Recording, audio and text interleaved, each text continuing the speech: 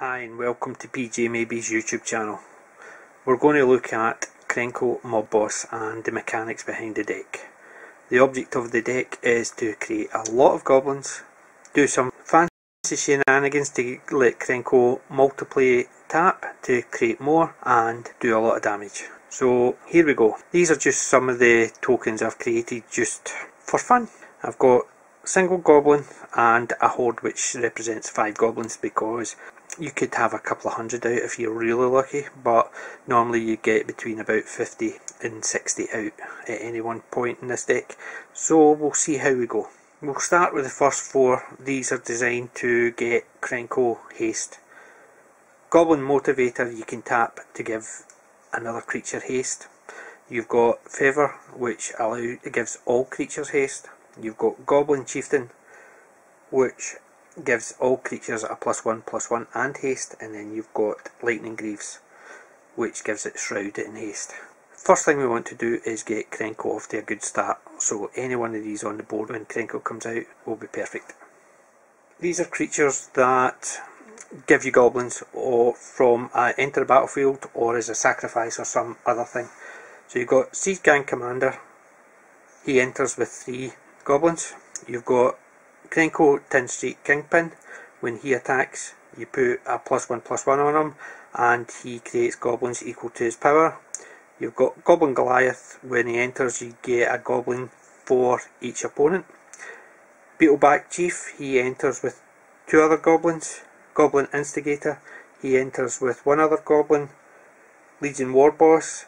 At the beginning of combat in your turn, you create a goblin that gains haste and is attacking.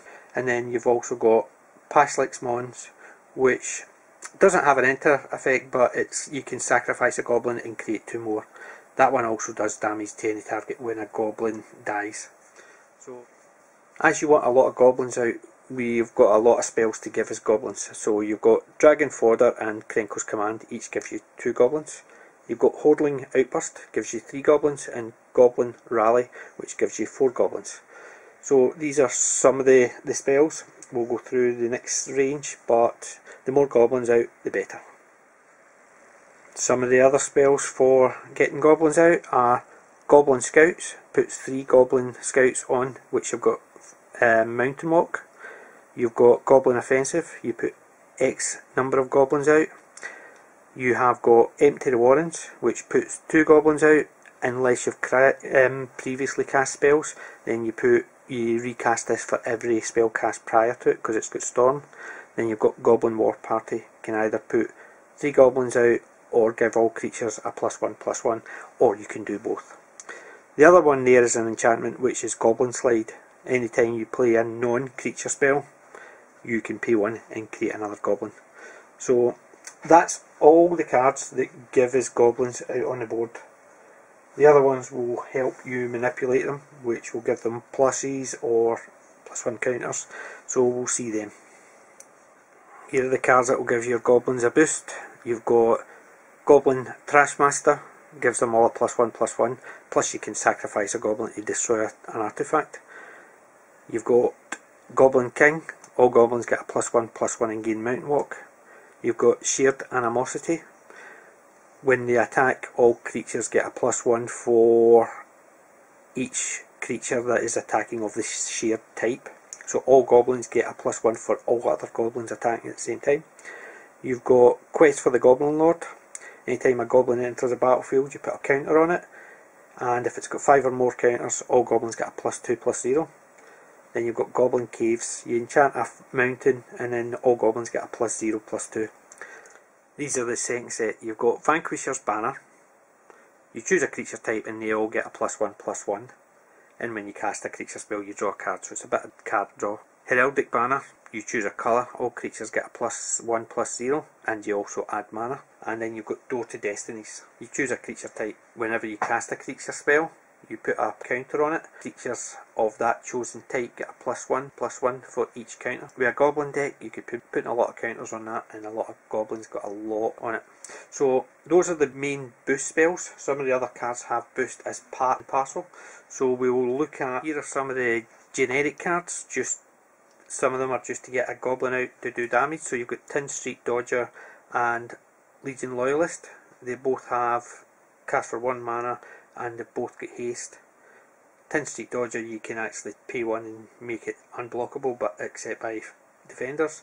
And the Battalion, they, if three creatures attack or more they get first strike, trample, and they can't be blocked by tokens. Then you got Goblin War Drums, which gives all your creatures menace, and Tuktuk the Explorer.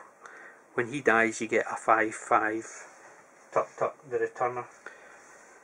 And that leaves Brash Taunter. He's indestructible a 1 1. Any damage dealt to him is actually dealt to a target opponent instead. Nice blocker. As long as it's not got trample, it can do a lot of damage back to the owner of the big creature you can fight. That's the generic ones. These are card draw to an extent. You've got Skullclamp. Early on it's ideal, but as soon as your goblins start getting a plus one, no good. But if a quick creature dies, you draw two cards. You've got an Arcane Encyclopedia. For three, you can draw a card. You've got Goblin Matron. You can search your library for a goblin card. And Sneak Attack. For one, you can play a creature from your hand to the battlefield, gains haste, and then you sacrifice it at the beginning of the end step. Ideal for putting something with a good into the battlefield condition. Those are the card draw mainstays. Dealing with opponents' artifacts, you've got Echoing Ruin, you can destroy an artifact and all artifacts with the same name. You've got Vandalblast, you can destroy an artifact, or if you overload it, you can destroy all opponents' artifacts. You've got the previous shown one, Goblin Trashmaster. When if you sacrifice a goblin, you can destroy an artifact. And you've got Treasure Nabber. Anytime an opponent taps an artifact for mana, you can gain control of it until the end of your step. So, mana ramp. These ones will reduce the cost of casting goblins. So you've got Goblin Warchief. Goblin spell cost one less to cast, and all goblins have haste. You've got Ruby Medallion. Red spells cost one less. You've got the Immortal Sun. It's got a number of things. Planeswalker abilities are nullified. Can draw an additional card. Your spells cost one less to cast, and all creatures get a plus one plus one. So that's quite a good one. It's actually got a combination over a few of the mechanics. Then you've got Herald's Horn. Creatures cost one less to cast, and you can look at the top card of your library, and if it's a creature of the chosen type, you can put it in your hand, so it's a bit of card draw. Mana ramp. Skirk Prospector, you can sacrifice a goblin to get a red mana. You've got Battle Hymn, you can add one mana to your mana pool for each creature you control. Brightstone Ritual, add one mana for each goblin in play. And Mana Geyser, add one red mana for each tap land your opponents control number of these are standard ones. So you've got Sol Ring, standard 2 mana. Coveted Jewel, when it comes in, you can draw 3 cards and can tap it for 3 mana of any one colour. Caged Sun, creatures get a plus 1 plus 1 and it allows your lands to tap for double mana. Then you've also got Dockside Extortionist, that gives you a treasure token for each artifact and enchantment your opponents control. It can give you quite a lot if it's at the end of the game, but these are the mana ramps. These are the creatures that deal damage as they enter the battlefield or leave the battlefield. So you've got Goblin Arsonist. Uh, basically does one damage to creature or player when it dies. You've got Grenzo's Ruffian. Anytime it does damage to an opponent, it does that much damage to all opponents. You've got Volley Veteran. Does damage to a creature equal to the number of goblins you control. And Goblin Chainwhirler as it enters the battlefield, it does one damage to each player, each planeswalker, and each creature they control. These ones, Goblin War Strike, deals damage to opponents depending on the number of goblins you have. You've got Guttersnipe, and every time you cast an instant or sorcery, you deal 2 damage to each opponent. You've got Impact Tremors, when a creature enters the battlefield, it does 1 damage to each opponent, and you've got Boggart Shenanigans, when a goblin is put into the graveyard, it deals 1 damage to a target player.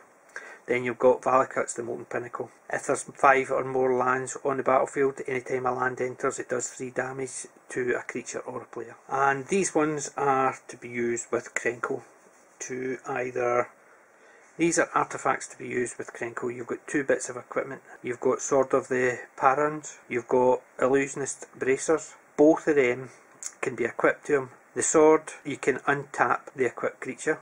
Well, allows you to retap them again. That costs you 3 and the other one that when you tap him you can it doubles his ability so you do two sets of doubling up. Then you've got Manifold Key, you can untap a target artifact. That would work well with Magewright's Stone, which untaps a creature and allows it to use its ability again. And then you've got Thousand Year Elixir, you can untap a creature as well. So the Manifold Key could work well with either the Thousand Year Elixir or Magewright's Stone and both of the equipments work perfectly so that could allow you to get a lot of goblins out.